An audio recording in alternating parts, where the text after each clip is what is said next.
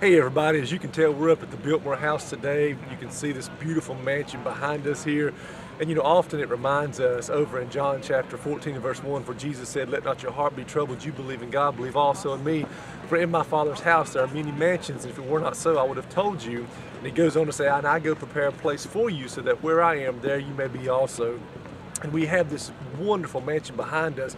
And this is what man can do. And just can you imagine what it's going to look like when we get to heaven, when everybody's there and the, what God has prepared for us, the sights, the sounds, the beauty that is before us there in heaven. What a day of rejoicing that's going to be when we all get to heaven.